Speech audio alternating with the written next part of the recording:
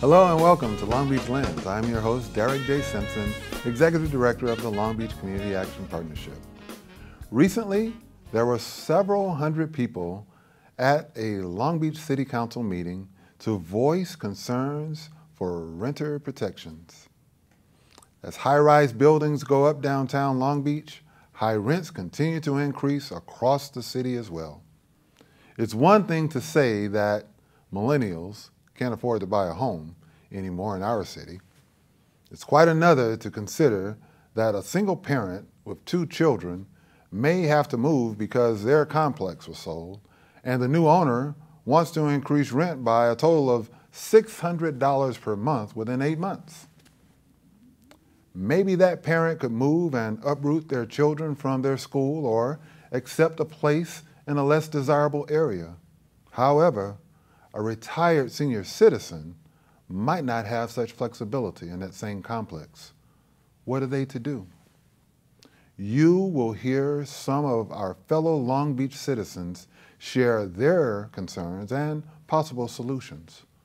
Affordable housing is a very important matter. They mention the need to diversify housing projects and integrate different socioeconomic levels in new construction. Maybe offer better deals with land developers to encourage affordable housing elements. Again, we are reminded that for millennials, affording a home in Long Beach may soon be a dream deferred. Affordable housing is very important.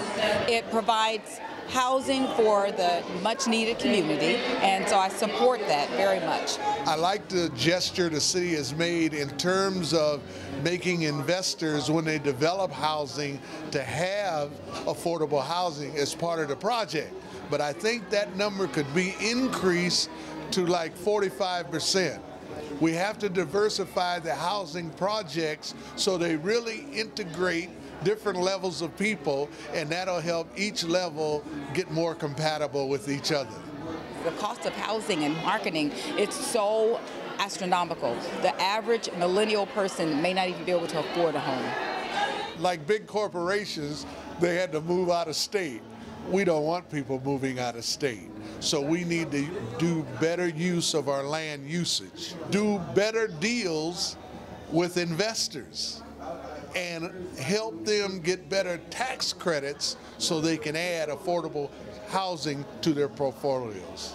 If the affordable housing concerns are not addressed, we're going to have many more homeless people.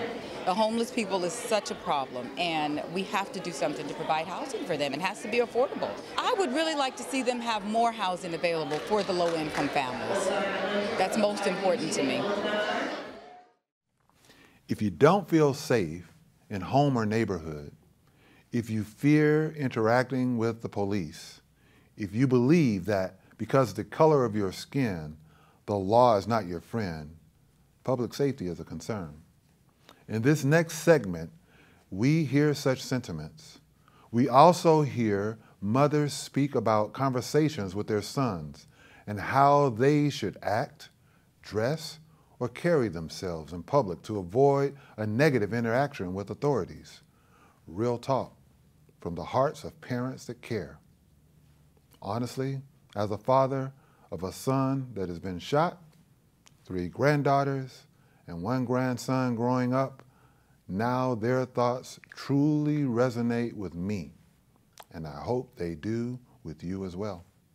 Public safety is a concern because I feel like it's difficult to pursue other avenues of your life, in your life, uh, getting educated, getting a good job, if you don't feel safe or if you're not safe in your neighborhood public safety is a concern because a lot of people look at the police officers as bad. They look at, they feel it as a threat. We do have issues that are not necessarily being addressed in all of our communities.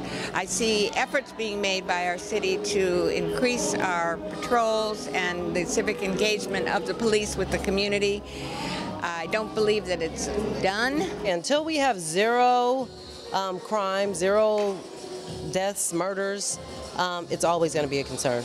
There is an endemic fear, I believe, among people of color and for young boys particularly, of a fear of law enforcement. And that is because traditionally those people have been targeted or profiled by law enforcement. The nationwide issues that we've had with law enforcement and and um, some of our black and brown brothers and sisters losing their lives as a, a part of or in the hands of our law enforcement.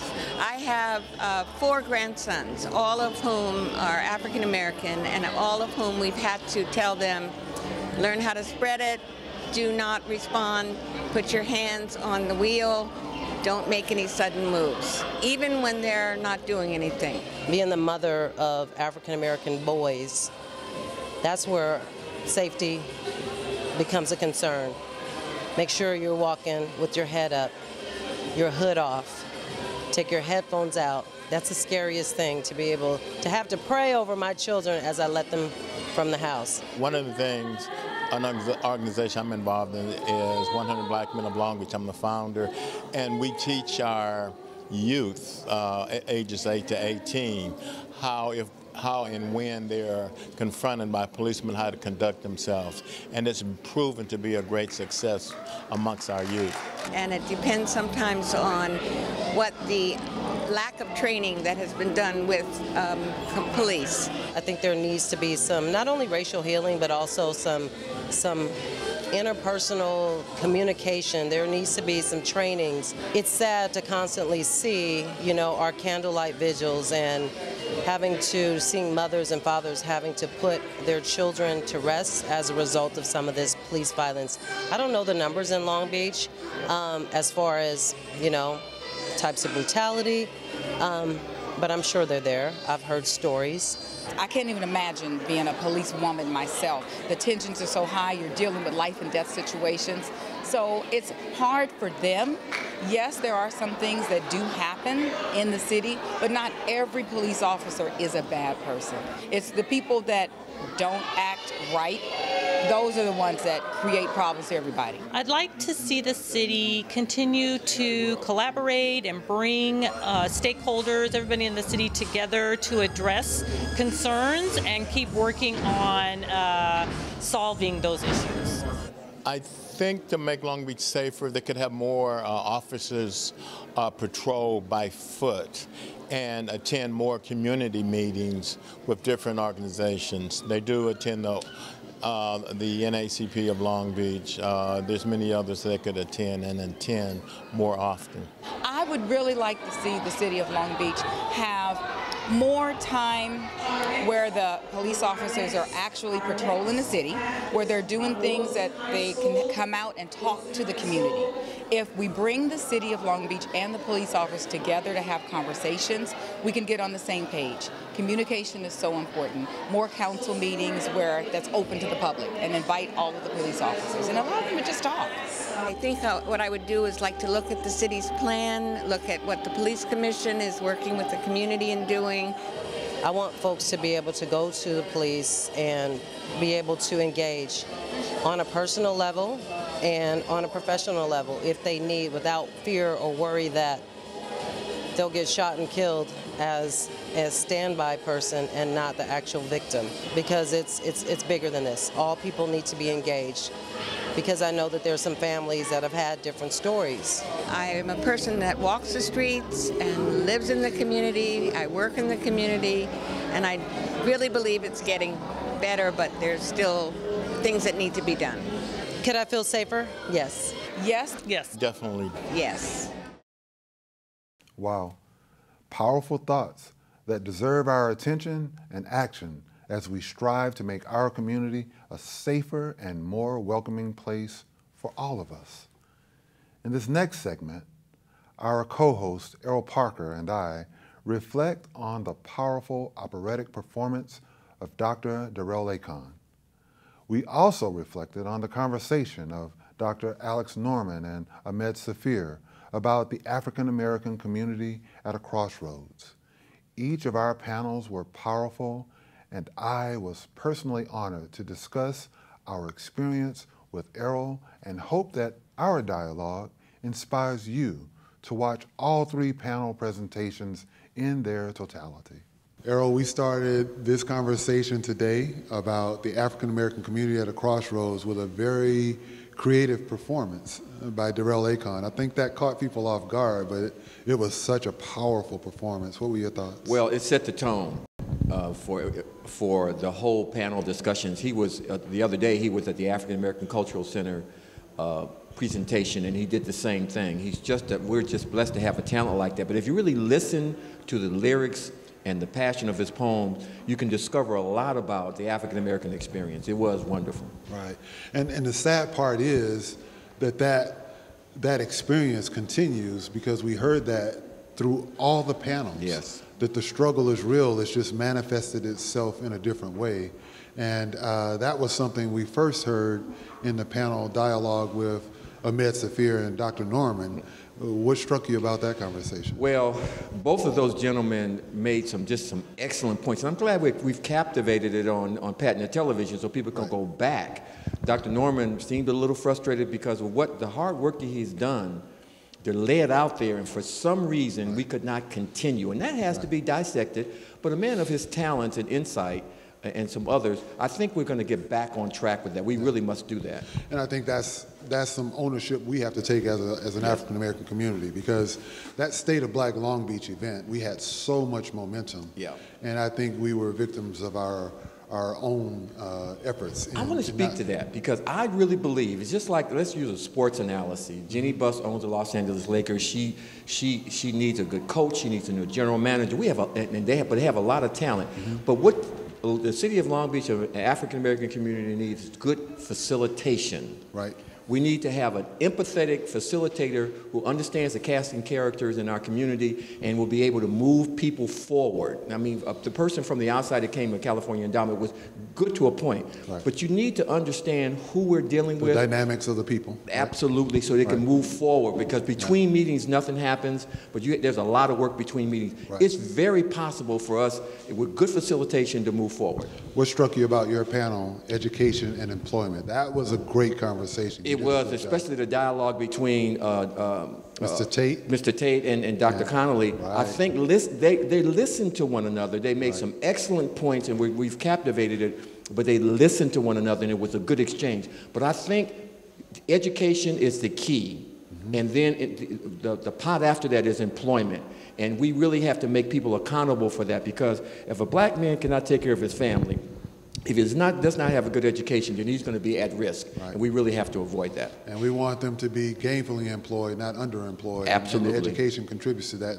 Last but not least, we talked about the social determinants of health. Mm. And we had a strong panel, yes. all African American women, yes. all in positions of leadership. Yes. I thought it was outstanding. It, it really was. I think there's some, there's some misnomers, there's some uh, misunderstandings about public health, and we have to impact that in order for us to, to do some preventative things and to, to be healthy again as a community.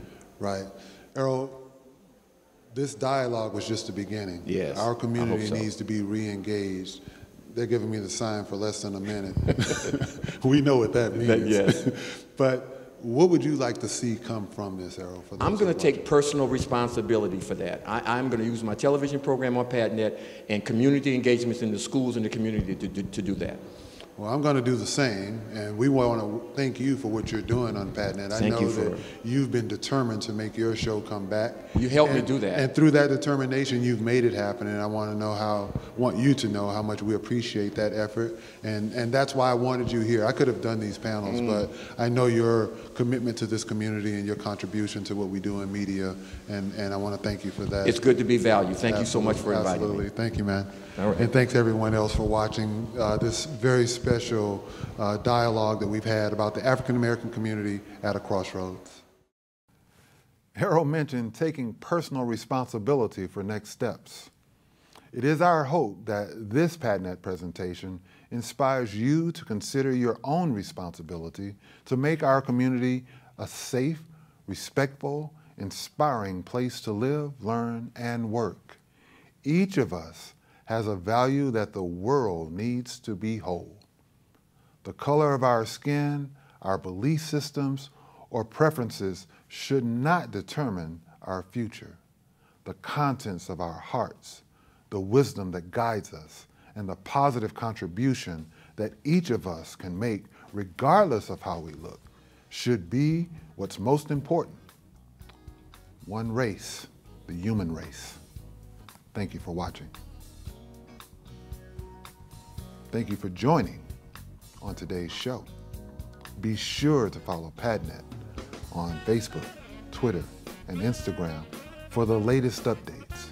We also welcome your comments and thoughts regarding this show as we strive to make Long Beach Lens a favorite source of local news, information, and entertainment. This show has been brought to you with support from the Long Beach Community Action Partnership. Thank you again for watching Long Beach Lens.